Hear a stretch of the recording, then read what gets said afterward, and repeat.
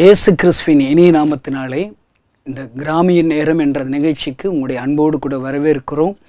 இந்த நிகழ்ச்சியை நீங்கள் தொடர்ந்து பார்த்து வருகிறீர்கள். கர்த்தர் கட்டாயம் உங்களை ஆஸ்வதிப்பார் அநேகர் உங்களுடைய ஜெப குறிப்புகளை எங்களோடு கூட பகிர்ந்து கொள்கிறீர்கள். நாங்கள் உண்மையாக நானும் சரி என்னோடு கூட இருக்கிற இந்த விஎம்எம் குடும்பத்தார்களும் உங்களுக்காக கருத்தாய் ஜெபிக்கிறோம்.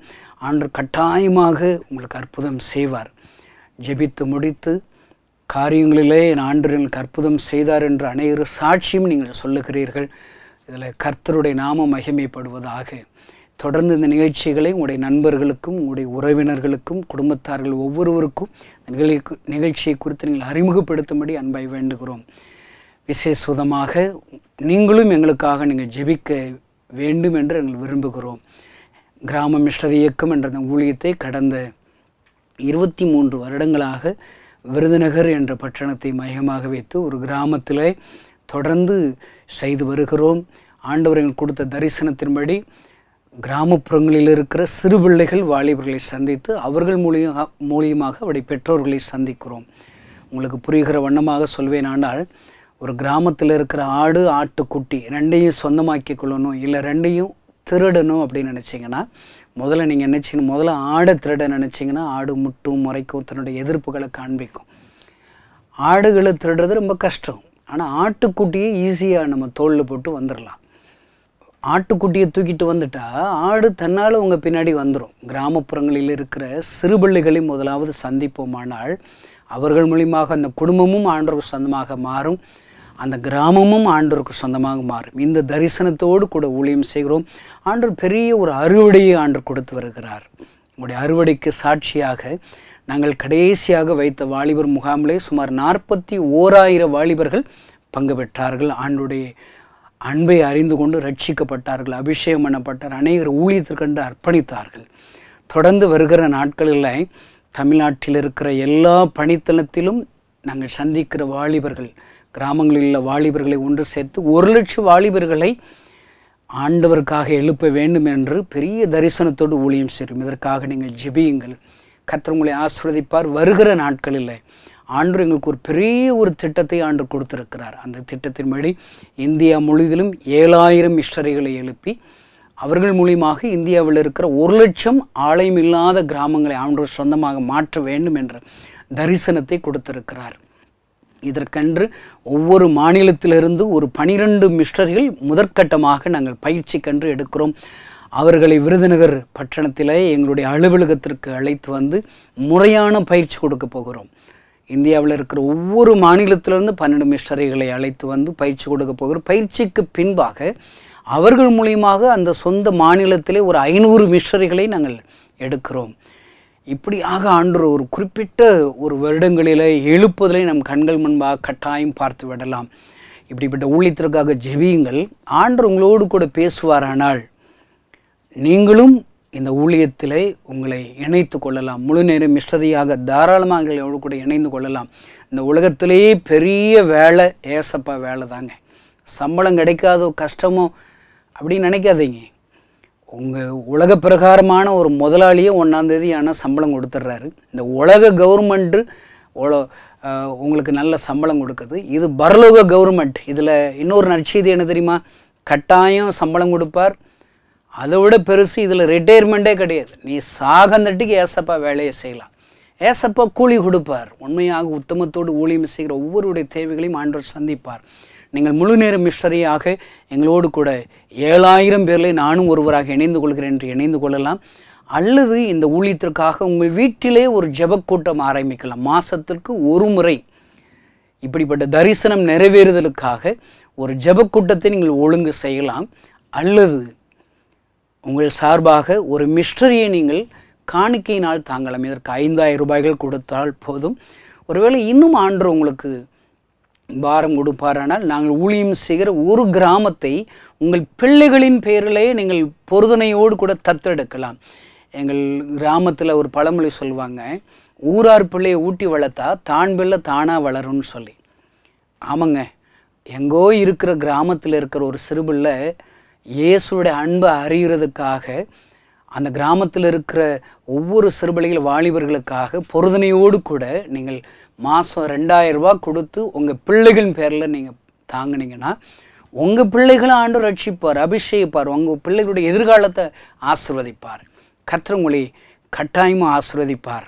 இப்பொழுதும் கண்களை மூடி ஆண்டவர் நம்மோடு கூட பேசும்படி ஒரு விஷயம் நாம் ஜெபிக்கலாம். பேசுவது நீங்கள் அல்ல பரிசுத்த ஆவியானவரே என்று எழுதியிருக்கிறதே. எங்கள் ஒவ்வொருவரோடு கூட உம்முடைய வார்த்தைகளை கொண்டு நீர் பேசும். நீர் மகிமைப்படும். இயேசு நாமத்தினால் பிதாவே. அமேன் இன்றைக்கு உங்களோடு கூட பேசும்படி ஆண்டுடைய சமூகத்தில் ஜெபித்த போது ஆண்டவர் ஒரு காரியத்தை தீர்க்க தரிசனமாக உங்களோடு கூட பேசும்படி ஆண்டவர் சொன்னார். பாருங்கள் செய்தி என்பது என்ன? ஆண்டு உங்களிடத்தில் எதிர்பார்க்கிற ஒரு சத்தியம். உங்களிடத்தில் ஏதோ ஒன்று எதிர்பார்க்கிறத என்னை போல ஒரு ஊழியர்கள் மூலியமாக பேசுகிறார். செய்தியில் பலதரப்பு இருக்குது. நிறைய பேர் பைபிளில் point one two three four தலைப்பு கொடுப்பாங்க. அதுவும் நல்லது. அது அது வேதத்தை ஆழமாக அறிந்து கொள்ளலாம். செய்தியில் இன்னும் பல வகையில் இன்னொரு வகை என்ன தெரியுமா? ஏசப்பா உங்கள்கிட்ட என்ன எதிர்பார்க்கிறார்? அதை சொல்கிறது இன்னொரு செய்தி. இன்றைக்கு இந்த செய்தியை கேட்கிற உங்கள் எல்லாரிடத்திலும் ஆண்டவர் எதிர்பார்க்கிற ஒரு தீர்க்கதரிசன வார்த்தையை சொன்னார். சகோதரனை நீ யாராக இருக்கலாம் உங்களிடத்தில் ஒரு காரியத்தை எதிர்பார்த்து தான் ஆண்டு பேச போகிறார். என்னோடு கூட இந்த ஒரு அரை மணி நேரம் இந்த வார்த்தைகளை கேட்பீர்கள் ஆனால் கட்டாயமாக ஆண்டவர் எதிர்பார்க்கிற என்ன என்று தெரிந்து அர்ப்பணிப்பீர்கள் ஆனால் ஆண்டவர் உங்களை ஆசிர்வதிப்பார். ஆண்டவர் உங்களிடத்தில் எதிர்பார்க்கிற அன்பு என்ன தெரியுமா? இந்த செய்தியை கேட்கிற நீங்கள் எல்லாரும் நல்ல தகப்பனாக மாற வேண்டும். குட் ஃபாதர் இதை தாங்க ஏசப்பா உங்களிடத்தில் பேச சொன்னார். என்னை பொறுத்தளவுக்கு இந்த செய்தியை கேட்கிற கிறிஸ்தவங்க யாராவது நீங்கள் கேட்குறீங்களா? ஒவ்வொரு கிறிஸ்தவனும் ஒரு ஃபாதர் போல தாங்க ஆண்டு இருக்கணும்னு சொல்லி விரும்புகிறார் நல்ல தகப்பனாக மாறணும். நான் நாற்பத்தேழு வயசாயிடுச்சு எனக்கு. என்னை சுற்றிலும் இருக்கிற நிறைய பேரை பார்க்குறேன். நல்ல ஒரு மா மாதிரி தகப்பன் யாராவது இருக்கிறாங்களா? தேடி தேடி நான் சோர்ந்து போயிட்டேன். சோர்ந்து போயிட்டேன். முதல் முதலாக ரட்சிக்கப்பட்டு வேதத்தை வாசிக்கும் போது இந்த பைபிள் எனக்கு ஒரு வாக்கு தத்துவம் சொல்லிச்சுங்க. என்ன தெரியுமா? என்னுடைய நாமத்தின் மித்தம் தகப்பனையாவது தாயாவது சகோதரனையாவது சகோதரியாவது வீட்டையாவது விட்டுட்டா நூறத்தனையாக ஆண்டவர் தருவேன்னு எனக்கு வாக்கு கொடுத்தாருங்க. எனக்கு ரொம்ப சந்தோஷங்க.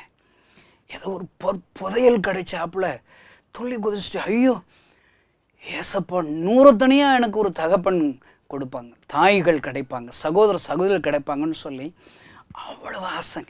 ஏன் தெரியுமாங்க? எனக்கு இருக்கிற என் என்- என் மேலே நல்ல என்னுடைய அப்பா அன்பு செலுத்தினார். உண்மைதான். எனக்கு நல்ல காரியங்கள் ரொம்ப சொல்லிக் கொடுக்கல. ஏன்னா அவங்களுக்கு யாரும் அவங்க அப்பா நல்ல காரியங்களை சொல்லிக் கொடுக்குற? எங்கள் தகப்பனார் குடிகாரர். குடித்து குடித்து இந்த உலகத்தை விட்டு போய்விட்டார். எனக்கு சொல்லி கொடுத்ததெல்லாம் ரவுடித்தனம். எப்படி மற்றவங்க கூட சண்டை போடணும்? சாராயம் எப்படி குடிக்கணும்? எங்கள் அப்பா சொல்லி கொடுத்துருக்காங்க. டேய் மூக்கு பிடிச்சிக்கணும் கொஞ்சம் கசக்கும் கண்ணை மூடி மடக்கு மடக்கு நீ குடிச்சிரு. இவ்வளோதான் இப்படி தாங்க எனக்கு சொல்லி கொடுத்தாங்க. நல்ல ஒரு தகப்பனை பார்க்க எனக்கு ஆசைதான். நான் முதலாவது இயேசு கிறிஸ்துவை கணேசனாகி நான் இயேசுவை ஏற்றுக்கொண்ட உடனே எனக்கு வீட்டில் நிறைய எதிர்ப்புகள். சரியாக சாப்பாடு கிடைக்காது. இந்த அன்பை மற்றவங்க கூட சொல்லணும்னு சொல்லி ஒரு ஊராக கிராமம் கிராமமாக திரிவேன். என்னோடய வீட்டில் பயங்கர எதிர்ப்புகள் இருக்கும். மனது சோர்ந்து போய்விடும். அப்படிப்பட்ட நிலைமையில்தான் இந்த வாக்கு தத்துவத்தை நான் நினைவு கூர்ந்தேன். ஆண்டவர் எனக்கு ப்ராமிஸ் பண்ணியிருக்கிறார். என்னுடைய நாமத்தின் மீத்தம் நீங்கள் தகப்பனையாவது தாயாவது சகோதரனையாவது சகோதரியாவது வீட்டையே விட்டுட்டு வந்துட்டால் நூறத்தனியாக நான் தந்துடுவேன் இருக்கார் நான் அப்போ ஐயோ நூறத்தனியாக தகப்பன் சர்ச்சில் இருப்பாங்க போல் இருக்கு கிறிஸ்தவங்க இருப்பாங்க போல் இருக்குன்னு சொல்லி சர்ச்சுக்கு போனேன். நல்ல ஒரு தகப்பனை தேடினேன் ஐயா.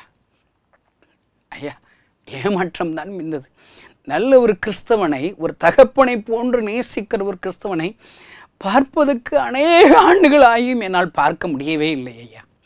அருமையான சகோதரே சகோதரியே இன்றைக்கு பார்க்கிற நீ கிறிஸ்தவனாயினேன் ஒரு தகப்பனைப் போல ஒரு மாற வேண்டும் என்று விரும்புகிறார்.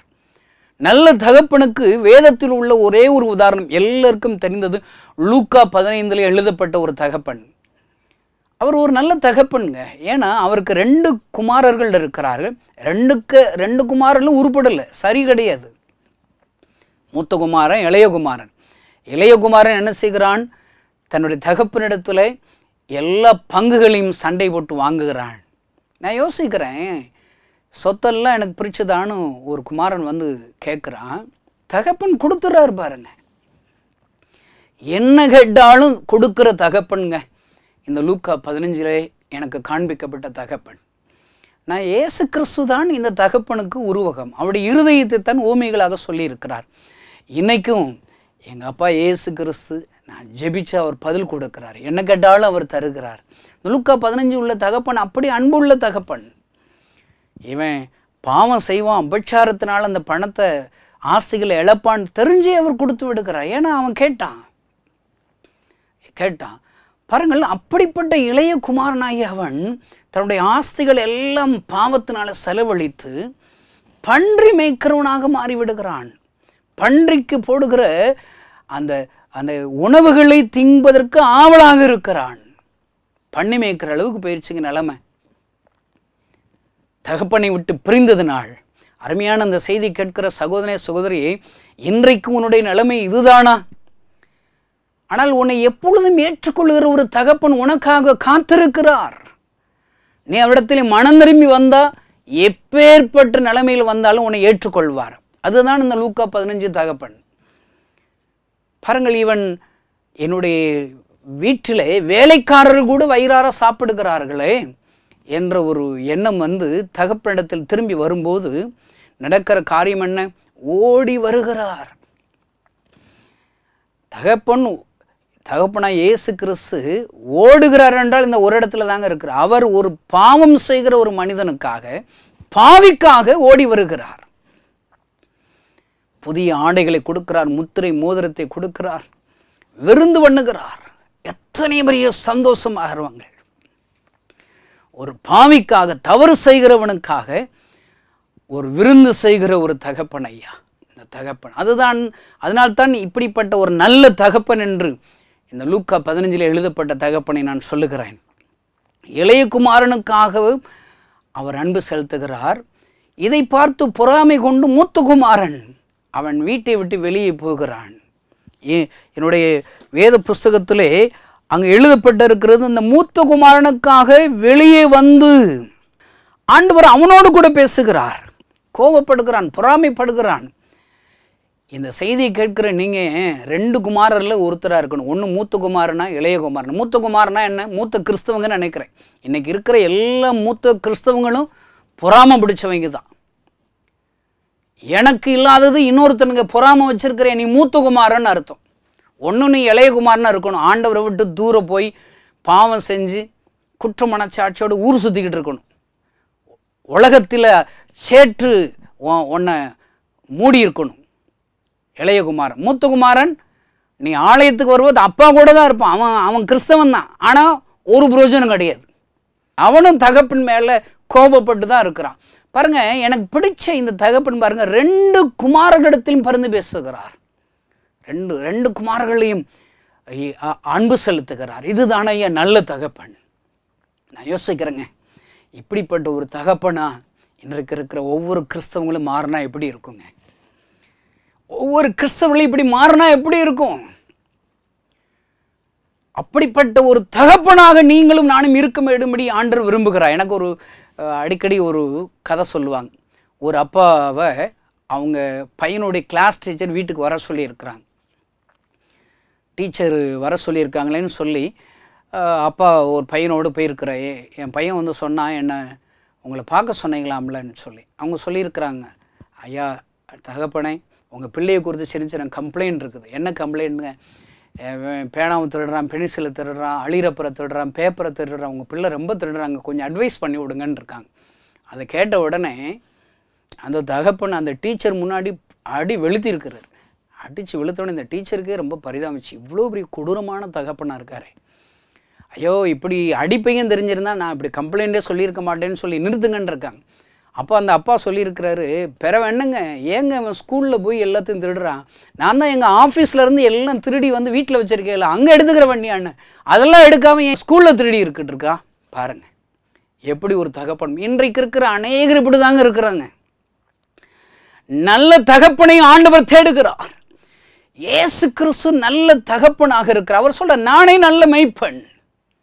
மெய்ப்பன் அருமையான கிறிஸ்துவ நண்பர்களே இன்றைக்கு உங்களுக்கு அப்படிப்பட்ட குணாதிசயம் இருக்கிறதா? அன்பு இருக்கிறதா? ஒவ்வொரு கிறிஸ்தவர்களும் ஒவ்வொரு ஊழியக்காரர்களும் நல்ல தகப்பனை போன்று மாறிவிட்டாள். இந்திய தேசத்துடைய எழுப்புதல் எப்பொழுதோ நாம் சந்திப்பிருப்போம் இந்தியாவில் சிலுவை கொடி எப்பொழுதோ பறந்திருக்கணுங்க. ஆண்டவர் அப்படிப்பட்ட தகப்பன்களாக நாங்களும் நானும் நீ மாறுபடி விரும்புகிறார். ஒரு தாயாக மாறுபடி விரும்புகிறார். வேத புஸ்தகத்தில் என்ன சொல்கிறது? நான் தாயாக மார்வளமும் கிராமங்கள் பாழாய் போயின. அருமையான தே தேவடைய பிள்ளைகளை இன்றைக்கு இருக்கிற இந்த சத்தத்தை கேட்கிற நீங்கள் ஒவ்வொருவரும் ஒரு நல்ல ஒரு தாயாக மாறினீங்களா? கிராமங்கள் ஆசிர்வதிக்கப்படுங்க. என்ன போன்று கணேசனை போன்று அநேகர் ரட்சிக்கப்படுவார்கள் ஐயா. என்னை போல் கணேசன் போல் ஒருத்தர் ரட்சிக்கப்பட்டு சர்ச்சுக்கு வந்தாங்க.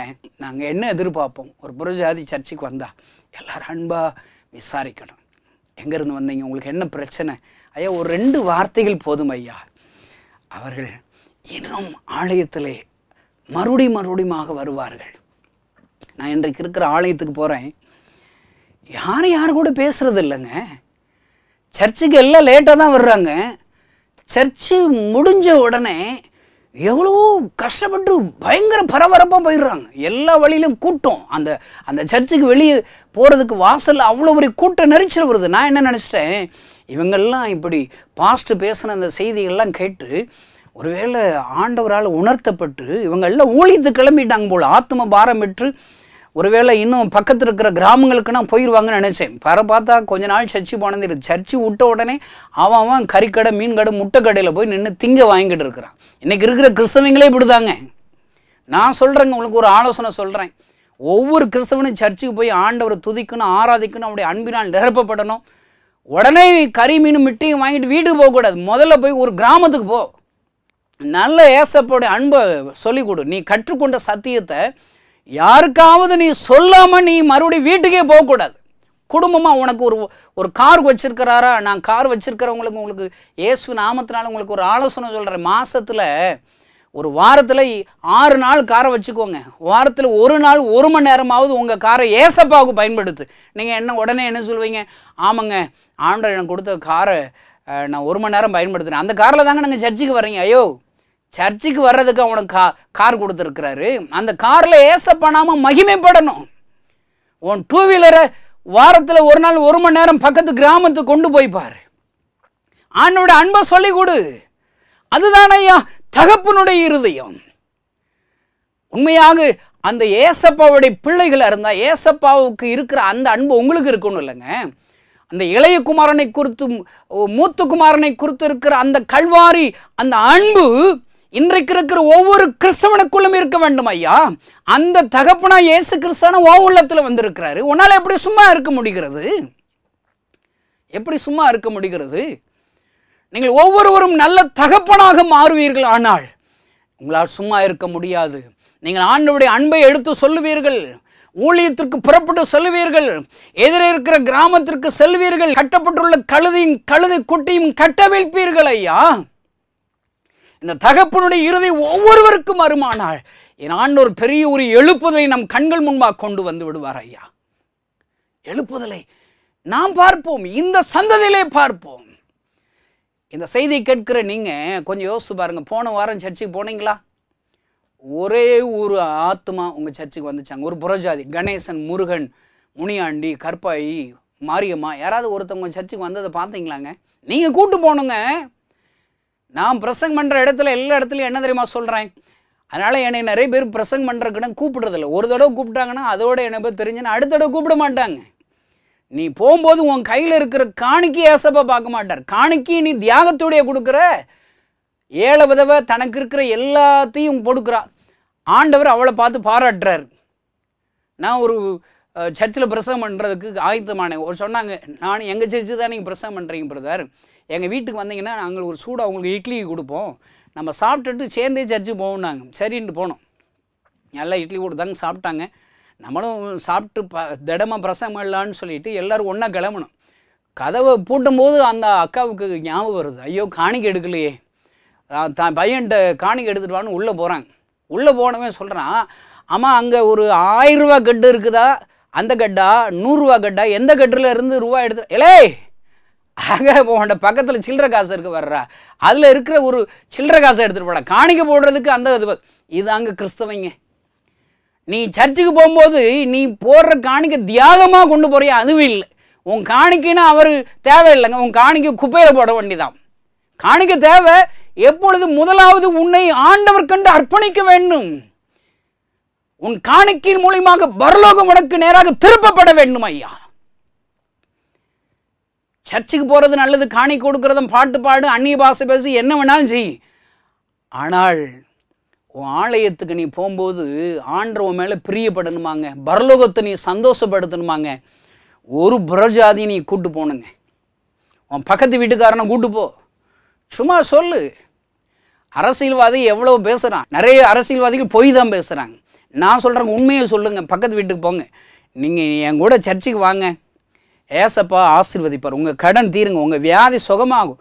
உங்கள் வீட்டில் ரட்சிக்கப்படாமல் குடிக்காமல் குடிச்சு அடிமையாக இருக்கிறனால அவன் அவன் மனம் திரும்பிடுவான். வந்து பாருங்க சொல்லுங்க ஐயா. கான்ஃபிடெண்ட்டாக சொல்லுங்க. தயங்கி தயங்கி பேசாதீங்க. எங்கள் ஏசப்பா அற்புதம் செய்வார். எப்பயுமே நான் சொல்லிக் கொடுப்பேன். உண்மையை உண்மை போல சொல்லணும். உண்மையை பொய் போல கிறிஸ்தவங்க பேசுகிறாங்க ஏன்னா பொய் போல பேசுகிறது என்ன? ஒருவேளை நீங்கள் வந்தீங்கன்னா ஏசப்பா அற்புதம் செய்வான்னு சொல்கிறாங்க இதை சொல்லணும். ஏய் நீ வாயா. ஏசப்பா அற்புதம் செய்வார். எங்கள் ஆலயத்திற்கு வந்து பாருங்கள். சமரிய ஸ்திரீ ரட்சிக்கப்பட்டு ஒரு மணி நேரம் கூட ஆகலைங்க. அவள் போய் ஓடி போய் குடத்தை தான் வந்த நோக்கத்தை எல்லாம் மறந்து குடத்தை கிணத்துல வச்சுட்டு ஓடுறாங்க. அதுதான் என் ரட்சிப்பு. அதுதான் என் ஒரு தகப்பனுக்குரிய இருதயம். அதுதானையா உண்மையான ரட்சிக்கப்பட்டவருடைய அடையாளமே அதுதானையா ஐயா என் ஆண்டவருடைய ஆராதிக்க போகும்போது ஆண்டவர் உன்னிடத்தில் கணக்கு கேட்பாரே. நீ ஒரு நாள் இளைய குமாரனை போன்று மூத்த குமாரனை போன்று இருந்த உன்னை தேடி என் ஆண்டவர் வந்தாரே.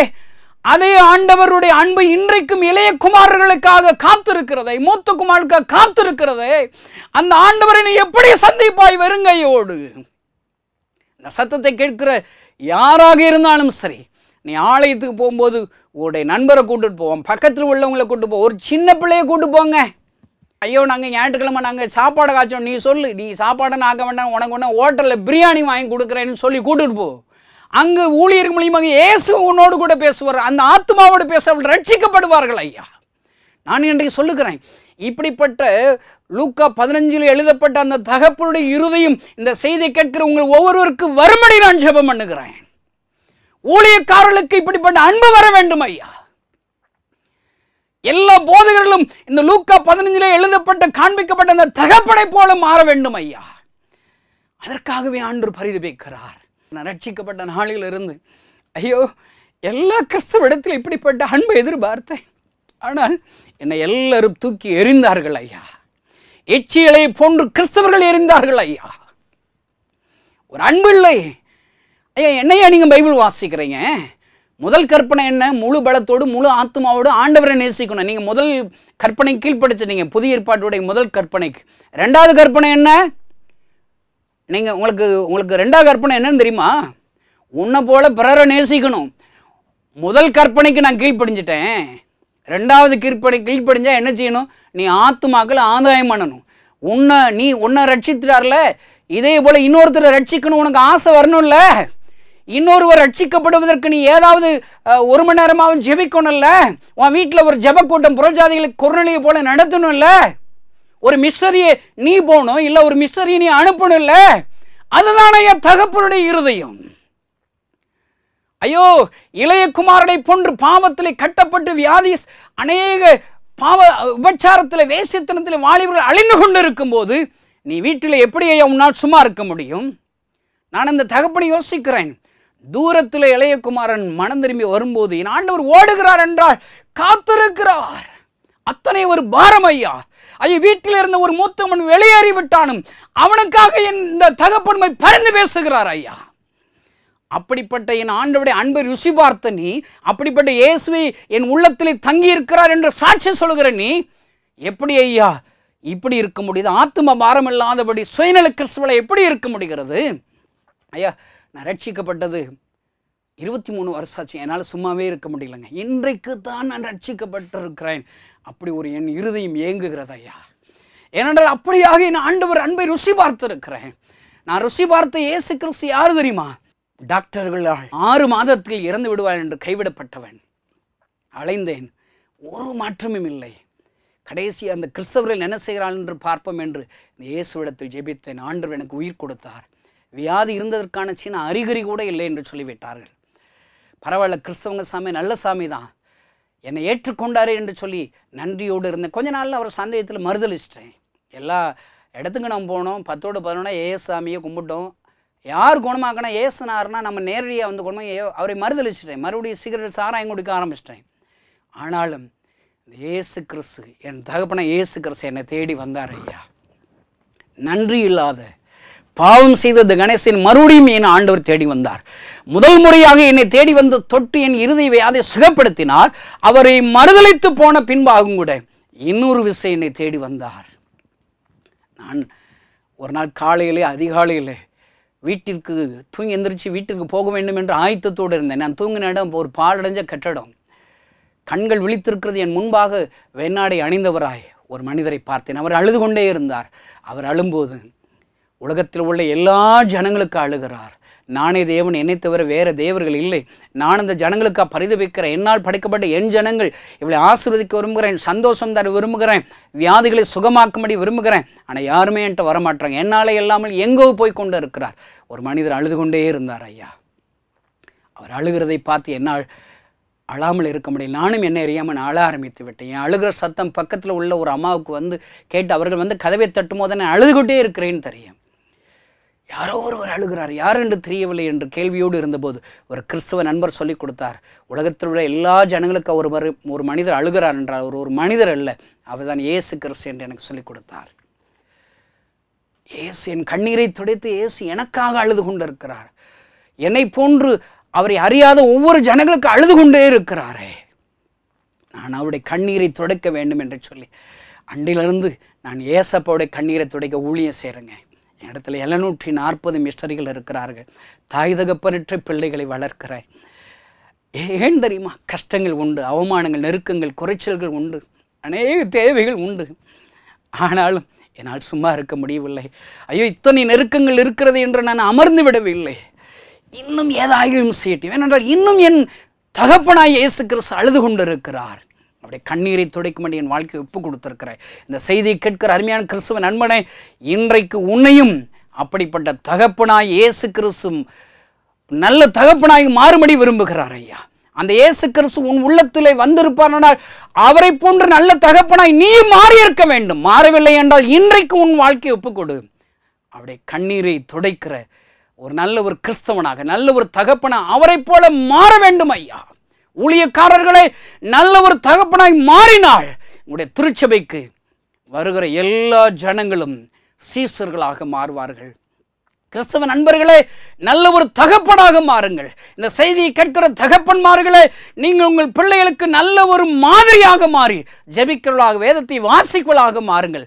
என் ஆண்டர் உங்களை ஆசிர்வதிப்பார். கண்களை மூடி நாம் ஜெபிக்கலாம். ஆண்டவரை எங்களோடு கூட நீ பேசின இந்த நல்ல சத்தியத்திற்கா தீர்க்க தரிசன வார்த்தைக்கா ஸ்தோத்திரம். நீர் நல்ல ஒரு தகப்பனாக இருந்தீர் அப்பா. உம்முடைய அன்பை நீர் எப்படிப்பட்ட தகப்பன் என்பதை லூக்கா பதினஞ்சு மூலியமாக நாங்கள் அறிந்து கொண்டோம். அதே போல் நாங்களும் நல்ல தகப்பனாக மாற்றும் எங்களையும் மாற்றும். இந்த செய்தி கேட்கிற ஒவ்வொருவரையும் மாற்றும். நீர் அப்படியே செய்யப்படுவதற்கா ஸ்தோத்திரம். இயேசுவ நாமத்தினால் பிதாவே அமேன் எமது மோட்ச பயணம் என்னும் தின தியான இதழை கீழ்கண்ட எண்களில் தொடர்பு கொண்டு பெற்றுக்கொள்ளலாம். Nine four eight seven four one two three one six. Nine four eight seven three six seven double six three. மேலும் வாட்ஸ்அப் மற்றும் சமூக வலைதளங்களில் கீழ்கண்ட ஆறு மொழிகளில் பெற்றுக்கொள்ளலாம். எமது முகவரி கிராம மிஷினரி இயக்கம் ஆறின் கீழ் நூற்றி நாற்பத்தி ஏழு மல்லிகை தெரு மதுரை ரோடு விருதுநகர் ஆறு இரண்டு ஆறு பூஜ்ஜியம் பூஜ்ஜியம் ஒன்று தமிழ்நாடு தென்னிந்தியா. வங்கி மூலம் காணிக்கை அனுப்ப Canara bank account number zero nine two four two zero one zero zero three nine four three. IFS code CNRB double zero double zero nine two four. Virudhunagar branch.